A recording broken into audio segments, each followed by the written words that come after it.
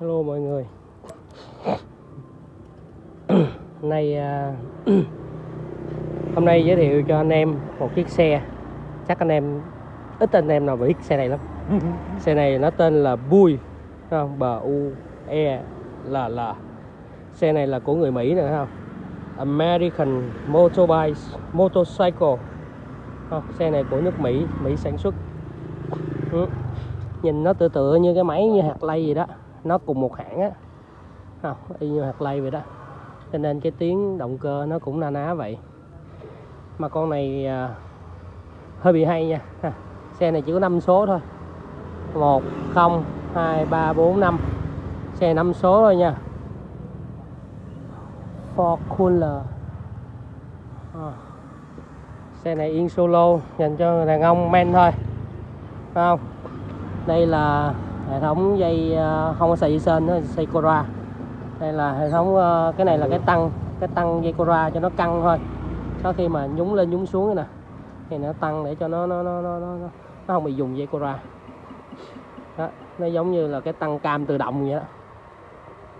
Nha mắt in USA đàng hoàng. Không hơi bị dữ. Máy móc thì tuyệt vời khỏi phải chê. Bố thắng như mới luôn nè dàn heo ba bít tông giống như là của R1 ha đời một đời mất lòi thì cũ nha. Xe này thì bị uh, xì phuộc rồi nhưng mà về mình làm phuộc tuyệt vời. Ba quỷ này thay phốt với thay dầu sao. Chuyện nhỏ đối với mình Thấy không? Thắng à thắng tuyệt vời luôn. Cái thắng này đi vòng ngoài. À, các bạn nghĩ là ừ thắng này mốt lấy đâu thay? Đây là thắng một tầng nha mình làm tại Việt Nam được luôn. Thấy không? Chuyện rất là nhỏ với mình luôn mình mà mò mình đã làm một chiếc xe mà mình chơi một chiếc xe nào đó thì mình đã coi rồi. À, mình coi cái gì mà làm được ở đây mình à, phục hồi sửa chữa được ở đây. Còn cái nhãn hiệu này tuy nó mới nhưng mà đồ xài chung với đồ hạt lây luôn. Không khe về máy luôn. Không? Dây Cora xài chung hạt lây luôn. Nói chung á, là khi mà bạn có một cái kiến thức về cái xe rồi á, thì bạn nhìn xe bạn biết là ok xe này chơi được hay không. Xe này mình thích nó vì nó rất là lạ nghe không? Cái ốp này đó là ốp trong suốt nha. Ốp thùng xăng nó trong suốt nha chứ không phải là ốp màu như người ta nha. Hơi bị độc cái này nè. Ừ. nó trong suốt nhìn xuyên qua cho vô trong luôn thấy không nhìn xuyên vô trong luôn. Ừ. thì à, cái tay côn tay thắng này nó không có được xịn sò cho lắm. Về mình thay lại mấy hồi không sao. À, ốp carbon. Carbon xịn nha. À, cái tên nó cũng là à, cái này là cái hiệu tên hiệu của của cái xe Mỹ nó là cái uh, cái bút này thôi.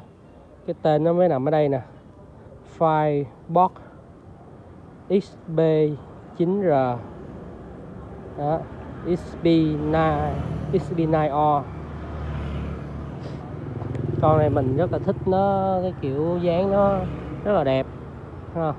Đồ xe nó còn rất là liền mình đã mình sẽ mua chiếc xe này. Mua về chân thôi cũng được nữa không vấn đề. Xe này nó sử dụng cái, cái làm làm mát bằng cách nhớt thấy không? Cách nhớt nằm ngang xong cái cánh này nó giống như mình chế cái cách uh, cái, cái cách mà làm làm mát uh, không khí ở trên cái xe ẹt turbo của mình đó. Ờ, mình hứng giống như là hứng gió giống như nè hứng gió để nó vô đây nó qua đây ngôi làm mát nè. Chứ không nhất thiết phải để hơn trước lúc nào nó cũng hướng gió. Ờ. Đây cũng vậy.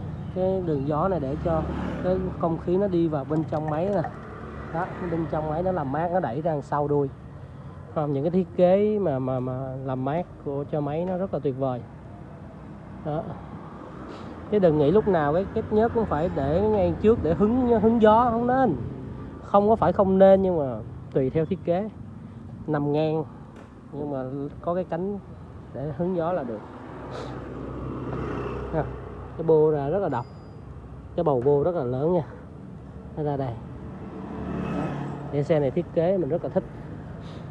Với lại à, những cái xe cá tính như vậy, có những cái tên rất là cá tính. American Motorcycle. Mình rất thích. Cái tem này cái tem một cái sọc xỉ trắng nè cái này là dán thêm thôi.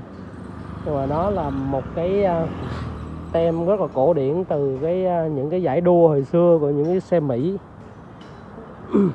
Mình cũng theo dõi rất là nhiều. Xe nói chung là tương đối là xin hết. Chỉ có like cái tay thắng à thắng LK Đó, hai cái tay thắng thôi. Cũng không quan trọng đối với mình. Rồi mình chào anh em nha. Đây là đĩa một tầng hết. Đĩa rất là dày luôn. Bố dày cui luôn. Ô oh, sau đây có nhớt. Cái gấp này nó xài nhớt hay dầu à? À đây có một cái nút dầu. Cái nút này không biết có cái nút gấp này để làm gì trong cái gấp thì mình không biết. Để mình về mình nghiên cứu sau. À, những cái xe đặc biệt như vậy nói chung là mình từ nhỏ là thích những cái xe đặc biệt à.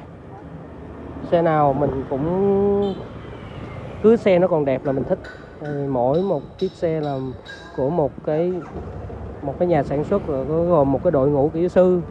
Người ta người ta bonus cho cái cái, cái cái cái chiếc xe làm ra như một đứa con của người ta vậy. Cho nên cái sự nó theo nhiều cái trường phái nhiều trường phái khác nhau nên xe nào mình cảm thấy mình cũng thích thì nó đẹp là thích riêng con này mình nhìn vô là mình thấy kết nó rồi. Đó, nhưng mà mình nhìn thấy nó là cái giá nó cũng rất là rẻ không hề mắc.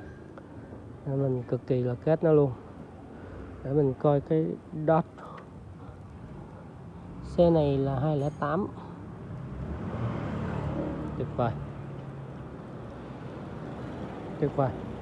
Nói chung là mình rất thích con này. Rồi cảm ơn anh em. Mong anh em ờ, thấy những cái clip mình nó có bổ ích. Thì anh em ờ, hãy ờ, đăng ký kênh của mình và like cho mình chia sẻ giúp mình. Cảm ơn anh em. Mục đích chia sẻ để về cái lĩnh vực về xe. Ừ, cho anh em biết thêm về nhiều chiếc xe và những cái cách chăm sóc xe. Như mình gặp trường hợp nào mình sẽ nói những cái trường hợp đó. Và cái thứ hai clip mình luôn luôn mang tính chất thực tế. Cho nên những cái gì mà nó chưa đúng anh em xin góp ý. Đó. còn mình không có lên mình mình rất là thực tế mình không có lên một cái mình phải suy nghĩ rồi mình lên nội dung hay gì đó mình không có. Thấy sao nói vậy? À, mong anh em uh, ủng hộ nha. Cảm ơn anh em. Firebox fire lửa. Box là cái gì đó. Nói chung mình không giỏi tiếng anh đâu mình cù bắp lắm firebox rất thích cái tem này, nhìn nó rất là phong cách, nó rất là ngầu luôn á. Cảm giác nó cực kỳ cá tính luôn. Mình rất thích chiếc xe này. Đó.